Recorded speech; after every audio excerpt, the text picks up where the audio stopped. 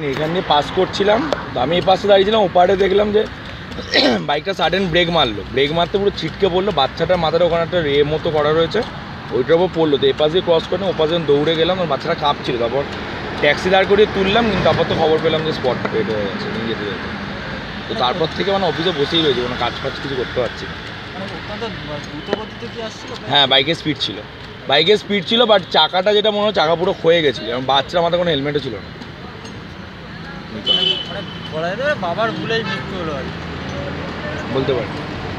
বাচ্চারা মাথায় কোনো হেলমেট ছিল না টুপি ছিল। পরে পুলিশ এসেছিল পুলিশও জিজ্ঞেস করল পুলিশকে সব বললাম। আমার নাম অভিজিৎ। সিনহা।